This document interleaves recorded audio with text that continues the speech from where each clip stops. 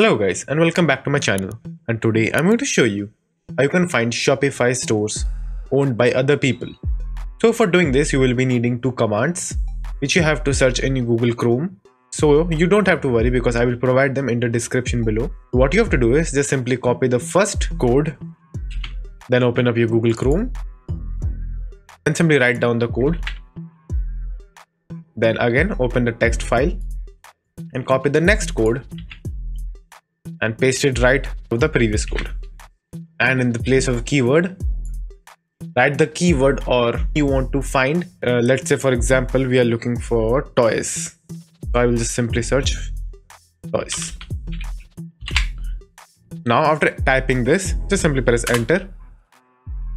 As you can see, there are a lot of stores in this niche, but they're all created by Shopify. So how you can find that out? So for example, let's open Uh, a site. Let's go with this one. So as you can see, this is a site created in Shopify and now how you can prove that just simply scroll down to the bottom page and over there you will find powered by Shopify. So as you can see, it's right here. So that's how you can find Shopify owned by other people. So that's it. And thank you for watching and do like and subscribe to my channel and